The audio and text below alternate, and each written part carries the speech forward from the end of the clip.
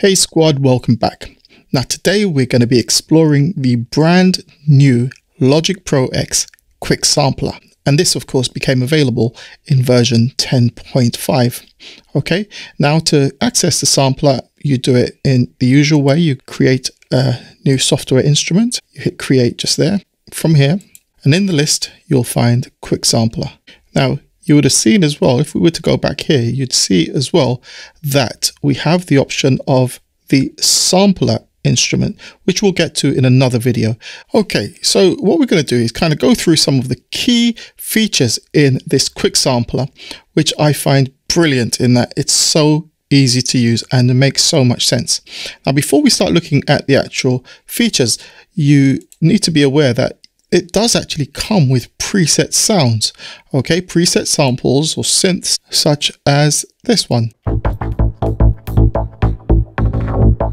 So you have all these categories, arpeggiator, um, basses, chords, keys, pads, and so on. Now let's just pull up a bass. Let's see, how about this one, plucked bass.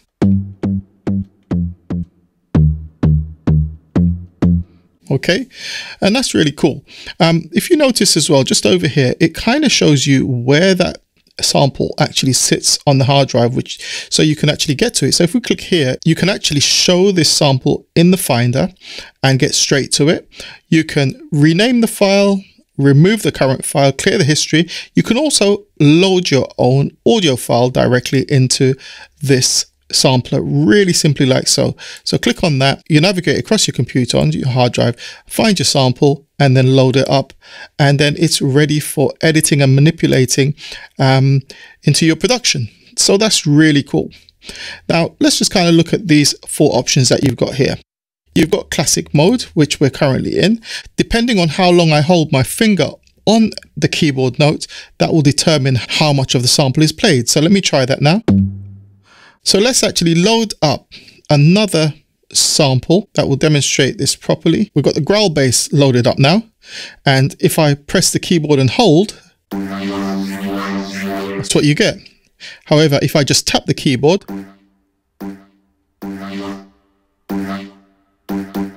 okay, and that's classic mode. However, if we went to one shot, now that will play the entire sample. So I'm just going to tap the keyboard.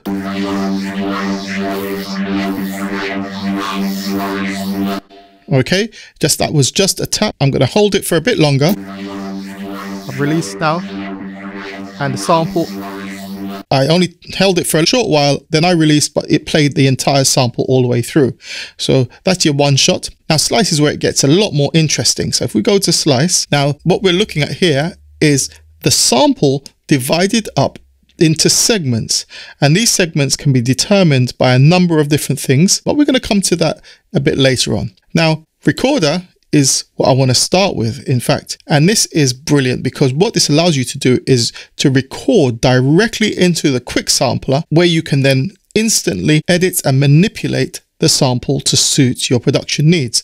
And we'll be doing that in just a minute. But let's just go back here and I'll give you a quick overview of what's happening down here. So you've got the two LFOs here, which you can use to manipulate the sound of your sample over time. You've got a modulation matrix here as well, but we're not going to touch on this right now. That's for later. You've got this section where you can adjust your pitch, coarse, fine, um, your glide, and the envelope depth.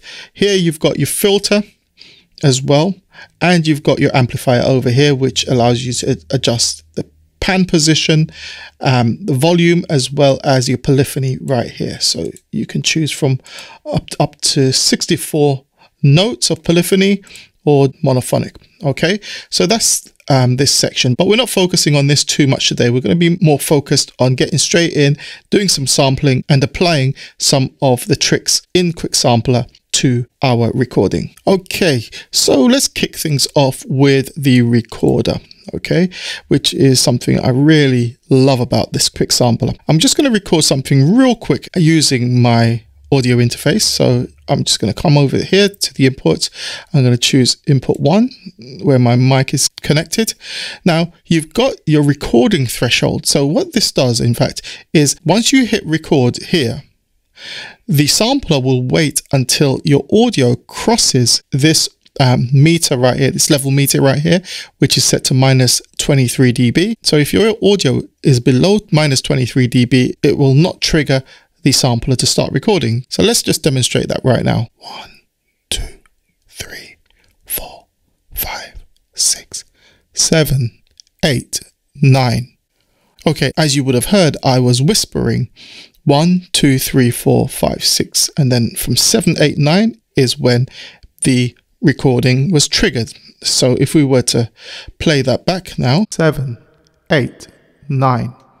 Okay, so as you can tell, it only picked up from seven, of course, because that's where the audio level crossed the threshold. Let's do something else. Um, this time I'm going to do another recording. Let's go to recorder and I'm going to record something else to go with this production that I've got running in the background. I'm just going to hum a note into the sampler and let that record and then, then I'll show you how we can manipulate that to fit into the production.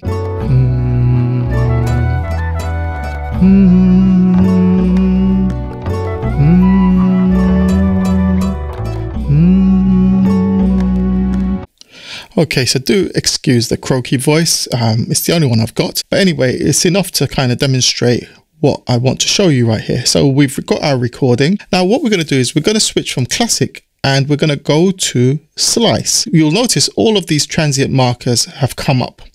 And what we want to do is really capture only these notes that I've actually hummed in. We don't want the noise, clicks and glitches. What we're going to do is come down here to sensitivity and we're going to pull down the sensitivity so the quick sampler only identifies where there's a strong enough signal.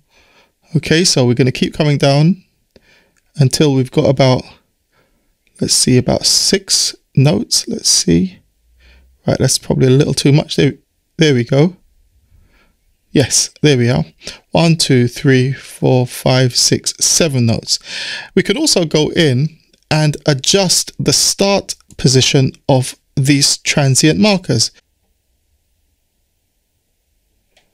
Like so. And now, as you can see right here, all of these different notes have been mapped to different notes on the keyboard automatically. So if I now play C1 on the keyboard, mm, right, it's not the best tone, but you know, you get the idea. As I go up the keyboard, each tone is sounded. Okay, so the other thing we can do is we can decide whether or not we want the notes to go chromatically from one key to the next on the keyboard, or we can set them to all white notes or all black notes. So we'll do that just here. Let's, so at the moment it's set to chromatic.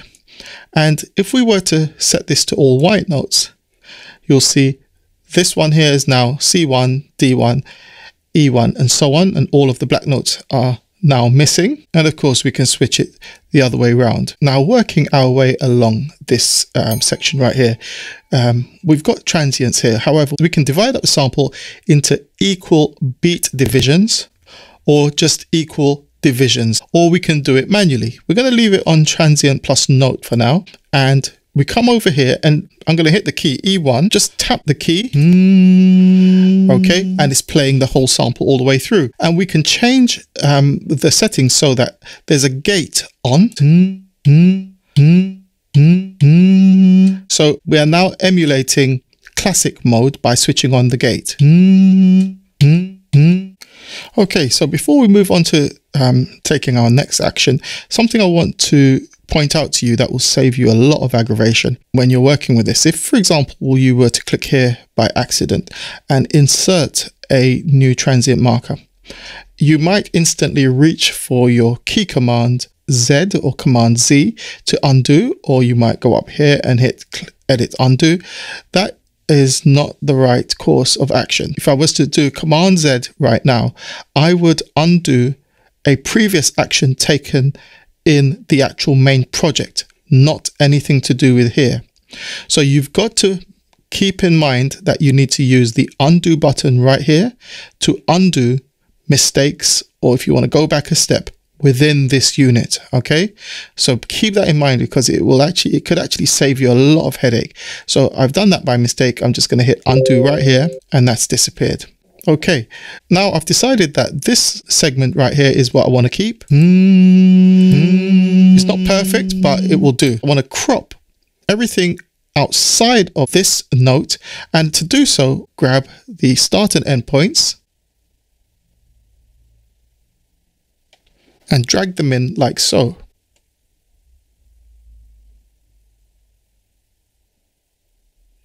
Now, so this is the section I want to keep. I then come up here and I choose crop sample. And now this is what we're left with. So what I want to do is change the polyphony on mono.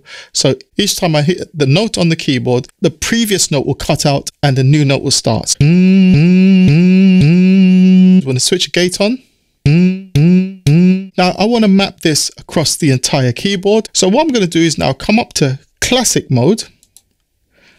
And now I'll press notes on the keyboard.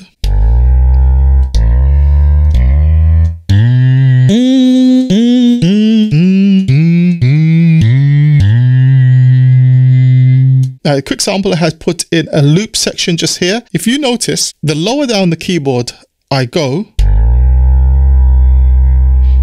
as a classic sampler would do, the slower the speed of the sample. Whereas the higher up the keyboard, mm, mm, mm, faster the sample plays.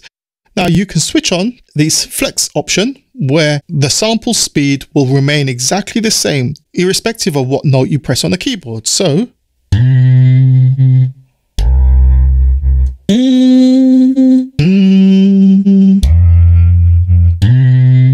So this is a really handy feature as well. So let me just record this idea down real quick and then we'll move on to some more of the great features in Quick Sampler. I just played the instrumental part so far.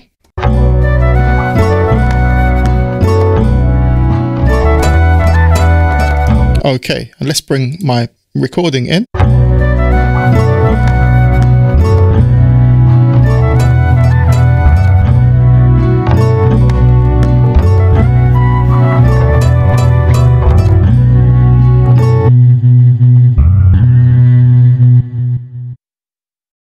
Now, there are a number of ways in which you can import samples directly into the quick sampler from anywhere on your computer. Now, if you were to drag and drop your sample or audio recording into this section just here, you would see some options pop up. So let's open up the media browser and I'm going to select some files from my tutorial samples folder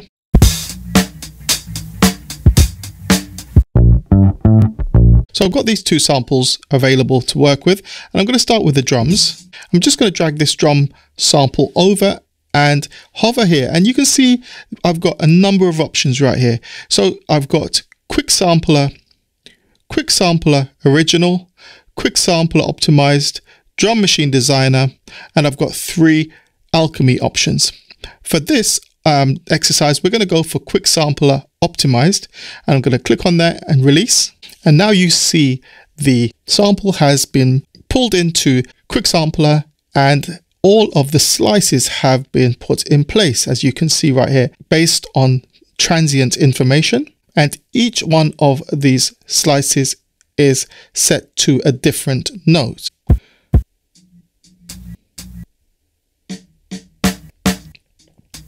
So now I'm just going to adjust the sensitivity a little bit so um, it's a little bit tighter and I'm avoiding some of the noise and just keeping the hard transient information as the triggers for each note. Okay, great. The other thing I want to do is I want to assign all of these notes to the white note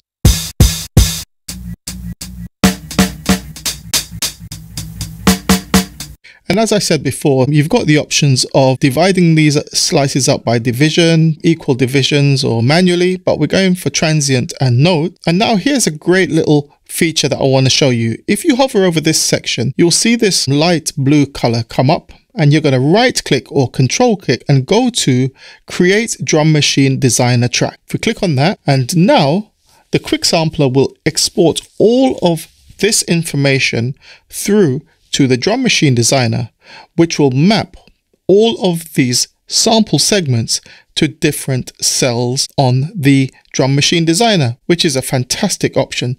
And here we have it, the Drum Machine Designer, and here are all of the notes mapped according to their position in the quick sample. And as you'd probably notice as well, all of the notes are still assigned to white keys on the keyboard. So we're starting on C1 there, D1, E1 and so on. So let's get on and make a quick drum pattern with this lot and then we can add a quick bass line and we're done.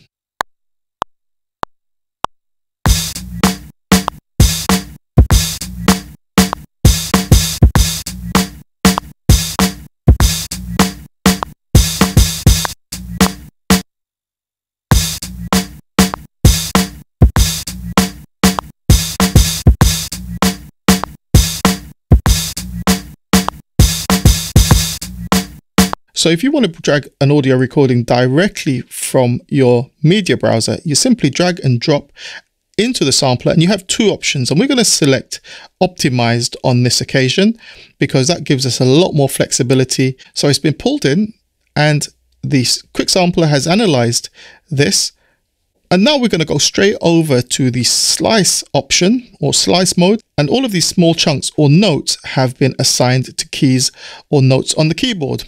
Now we're going to adjust the sensitivity of the transient information. We're going to keep it on chromatic, enable the gate and switch to follow tempo. Okay, so now that the notes have been mapped across the keyboard, I'm happy with the positioning. Let me just put down a quick bass line to go with my drum pattern, just to kind of demonstrate how this is done as well. And that'll be a wrap.